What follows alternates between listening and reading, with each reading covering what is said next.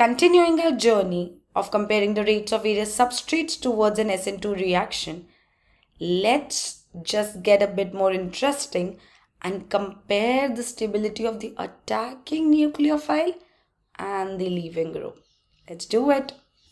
Which of the following would undergo substitution via SN2 mechanism when treated with Cl ion? Okay, there is SN2 mechanism happening. The incoming nucleophile is chloride ion for each of them. Try doing this problem yourself and then we'll do it together. Okay, the leaving group in the first case is OH minus while in the second it's I minus and the third it's NH2 minus. Wait, I know, I know, I minus has the largest size.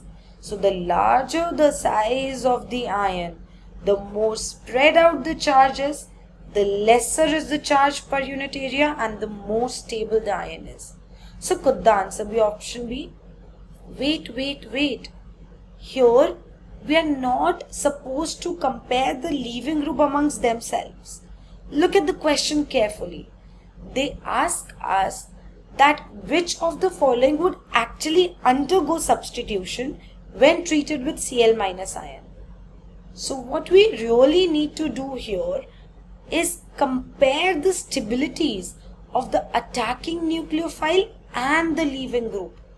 If the leaving group is more stable than the attacking nucleophile, why would it leave? Wouldn't it just attack back instead and just make the attacking nucleophile leave? So what we really need to compare is OH minus and Cl minus, I minus and Cl minus and NH2 minus with Cl minus. In the first case, chloride ion has a larger size and therefore the larger the size of the ion, the more spread out the charges, the more stable is the anion. Oh wait, the attacking nucleophile is more stable alone as compared to the leaving group. OH minus wouldn't want to leave. Nah.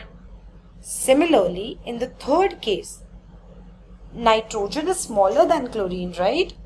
So the negative charge would be more stable on the chlorine atom. NH2 would also not want to leave as NH2 minus ion. What are we left with? Let's try and compare I minus and Cl minus.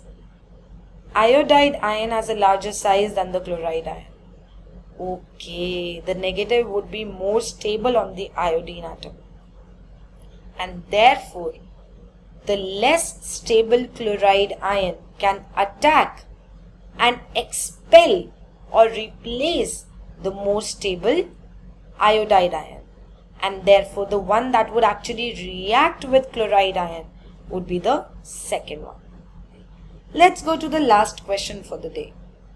Here, which amongst the following will not react via SN2 mechanism when treated with OH minus? Focus on not reacting. Okay, here we don't care about comparing these leaving groups with each other, but instead we care about comparing them individually with the attacking nucleophile.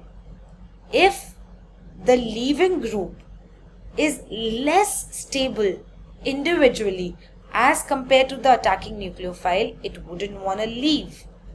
So try doing it yourself first before we attempt it together. Okay, so we need to compare OH minus and SH minus, OH minus and NHCH3 minus where the negative charge is on the nitrogen atom and OH minus and Br minus. In the first case, I see how the negative charge on the sulfur would be more spread out as compared to the negative charge on the oxygen atom because sulfur has a larger size so SH minus would be more stable than OH minus. The leaving group being more stable than the attacking nucleophile. The leaving group would leave. Similarly, in the third case, the bromine atom has a larger size than the oxygen atom. The negative charge would be more stable on it. So the bromide ion being more stable than the attacking nucleophile OH minus ion would happily leave when the substrate is attacked by OH minus ion. They both belong to the same period. Hey, electronegativity. Oxygen is more electronegative than nitrogen. That means it can keep the electron density towards itself in a much better way as compared to the nitrogen atom. So the attacking nucleophile is able to keep the electron density in a more stable way as compared to the leaving group. The leaving group wouldn't want to leave and therefore the one substrate that does not undergo SN2 reaction when treated with OH minus would be the second one.